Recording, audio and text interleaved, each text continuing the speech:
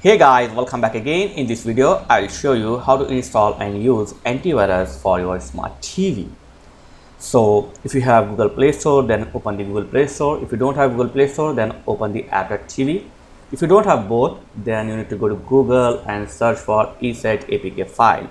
So download the APK file and then transfer to TV. So luckily I have Google Play Store. So go to Google Play Store and here just type ESET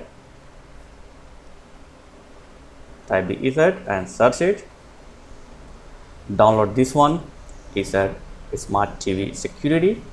So download and install this app to your smart TV okay after this simply launch this application. Okay. Now accept. Okay now I, I will decline this. Okay I don't want this one. And customer I will take skip. And now log in your email address. And that's it. This is the home screen. Just tap on the start scan. And this is the user interface of your antivirus. Okay? So you can do some setting here. Allow and disable enable or disable some setting. Okay. So you need to allow accessibility. Just select your, the allow option like this and go to accessibility. Okay. And then enable the ESET like this and that's it.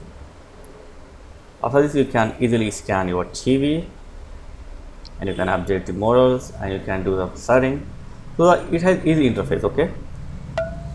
So you can easily scan entire TV and you can enable anti-phishing uh, security yeah these are easy to use. So if you need it you can use it this software. So that's it. Nothing more to show. So thanks for watching guys. Catch you next video. Please like share and subscribe. Thank you very much guys